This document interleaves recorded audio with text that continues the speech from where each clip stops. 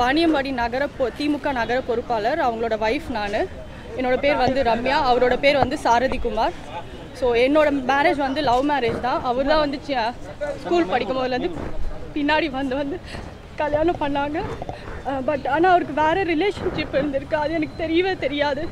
Elder அந்த lady வந்து elder fourteen years elder so அதனால் அவங்க பெரியவங்கனால அக்கா அக்கான்னு கூப்பிட்றதுனால தப்பாக பார்க்குறேன் எதுவும் இல்லை எதுவும் இல்லைன்னு சொல்லுவாங்க. பட் ஒரு ஸ்டேஜுக்கு மேலே தான் தெரிஞ்சது. அவங்க சிஸ்டர் இல்லை வேற மாதிரி வேற மாதிரி ரிலேஷன்ஷிப்ன்ட்டு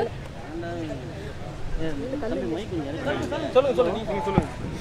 அவங்க வேற மாதிரி ரிலேஷன்ஷிப் அந்த லேடி அவங்க எப்படின்னா அவங்க வீட்டுக்கே வந்துருவாங்க. இல்லை அவங்க என்னை வீட்டுக்கு கூட்டிட்டு போயிடுவாங்க. படுக்கிறது கூட பார்த்தீங்களா என்னோட ஹஸ்பண்ட் நடுவில் படுத்தா நான் இந்த பக்கம் படுக்கணும் அந்த பக்கம் அந்த லேடி படுப்பாங்க. அவங்க ரெண்டு பேர் தான் கட்டி பிடிச்சிட்டு படுப்பாங்க. அதை கேட்டேன் அப்படின்னா நீ தான் தப்பாக பார்க்குறேன்னு சொல்லிட்டு என்னை போட்டு அடிப்பாங்க.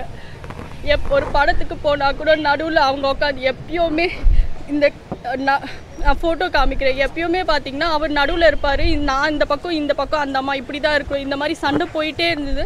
அப்போ தான் குழந்த பிறந்தது. குழந்த பிறந்த அப்புறம் என்னாச்சு? நான் வீட்டுக்கு வந்துட்ட அப்புறம் இந்த லேடி நான் இல்லாத நேரத்தில் இன்னொரு லேடியை கூட்டின்னு வந்து விட்டுருக்கா அது அவங்களோட அக்கா பொண்ணு. அந்த அந்த பொண்ணுக்கு எயிட்டீன் இயர்ஸ் ஓல்ட் ஆகுது. அந்த பொண்ணு கூட்டிட்டு போய் ஜிஆர்டி கோயம்புத்தூரில் ரூம் போட வச்சு அதுக்கு அந்த பொண்ணுக்கு அட்வைஸ் ஃபோன் கான்வர்சேஷன்ஸ்லாம் மாட்டிக்கிச்சு என்கிட்ட. அந்த பொண்ணுக்கு அட்வைஸ் பண்ணுறாங்க எப்படிலாம் அவனை பார்த்துக்கணும் கொள்ளணும் அவனை சந்தோஷமாக பார்த்துக்கோ அவனை நல்லா பார்த்துக்கோன்ட்டு அவனுக்கு அட்வைஸ் பண்ணுற கான்வர்சேஷன்லாம் மாட்டிக்கிச்சு. அதெல்லாம் என்கிட்ட மாட்டினோடனே அப்பத்துலேருந்து என்னை த்ரெட்டன் பண்ணிகிட்டே இருக்காங்க. ஸோ எனக்கும் என் குழந்தைக்கும் பாதுகாப்பு இல்லை. இப்போ அதுக்காக சரி டிஎம்கே தானேட்டு தலைவர்கிட்டயும் போய் சொல்லியிருக்கேன் அவர் நடவடிக்கை எடுக்கன்னு சொல்லியிருக்காரு. பட் அதை எப்படியோ தெரிஞ்சுட்டு நான் இங்கே அறிவாலயம் வந்ததை பார்த்துட்டு அங்கேயும் வந்து த்ரெட்டன் பண்ணாங்க. ஸோ அதுக்குண்டான கம்ப்ளைண்ட் நடவடிக்கை எடுக்கணும் தான் இப்போ கமிஷனர் ஆஃபீஸ்க்கு வந்திருக்கேன்.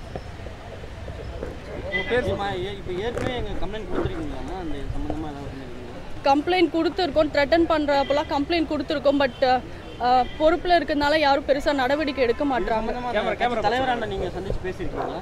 கொடுத்துருக்கோம். இப்போ டே பிஃபோர் எஸ்டர்டே தான் கொடுத்தேன். பட் அவர் நடவடிக்கை எடுக்கிறேன்னு தான் சொன்னார். பட் அதுக்குள்ளே இவன் வந்து என்னை த்ரெட்டன் பண்ண ஆரம்பிச்சிட்டா. உனக்கு தலைவர்கிட்ட போகிற அளவுக்கு உனக்கு தைரியம் வந்துருச்சான்னு த்ரெட்டன் பண்ண ஆரம்பிச்சிட்டா. ஸோ அது அந்த லேடியோடைய அவங்க அவங்க அண்ணன் வந்து எஸ்பியா இருக்கிறதா சொல்றாங்க. ஆமாம் அவங்க அந்த அண்ணன் எஸ்பியாக இருக்காங்க. ஸோ அவங்க கிட்ட எல்லாமே சொன்னோம். பட் அவர் வந்து இதை வார்ன் பண்ணி பார்த்தாரு. என்னோட ஹஸ்பண்ட்க்கும் வார்ன் பண்ணாரு அவங்க சிஸ்டருக்கும் வார்ன் பண்ணாரு. பட் ஆனால் அவங்க ரெண்டு பேருமே கேட்குற மாதிரி இல்லை. ஸோ அதனால அவர் வந்து உன்ன நீ என்ன நடவடிக்கை உன்னோட வாழ்க்கையும் உன் குழந்தை வாழ்க்கையும் காப்பாற்றிக்க உன்னோட என்ன நடவடிக்கை எடுக்கணுமோ எடுத்துக்கோன்ட்டு அவர் சொல்லிட்டாரு. அவர் சிஎம் செல்ல இருக்காரு. சென்னையில் தான் இருக்காரு. Okay okay.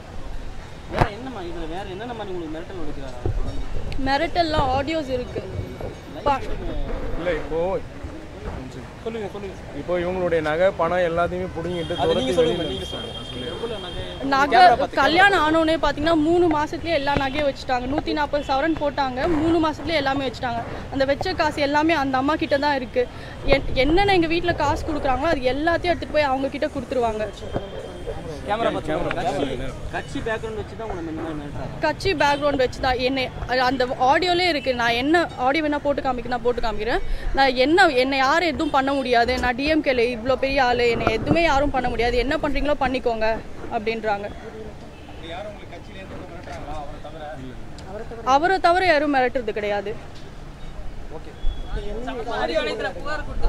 ஆமா.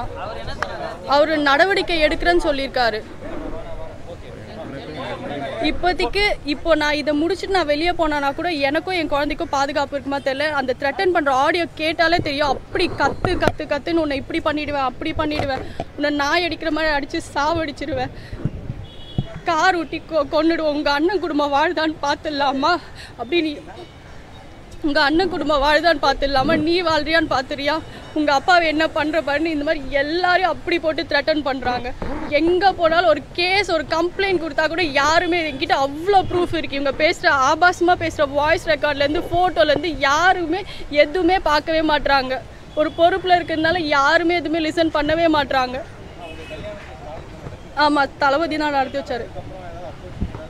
இல்லை இப்போ அப்போ முந்தானேத்து அப்ரோச் பண்ணது தான் அவர் நடவடிக்கை எடுக்கிறேன்னு சொல்லியிருக்காரு.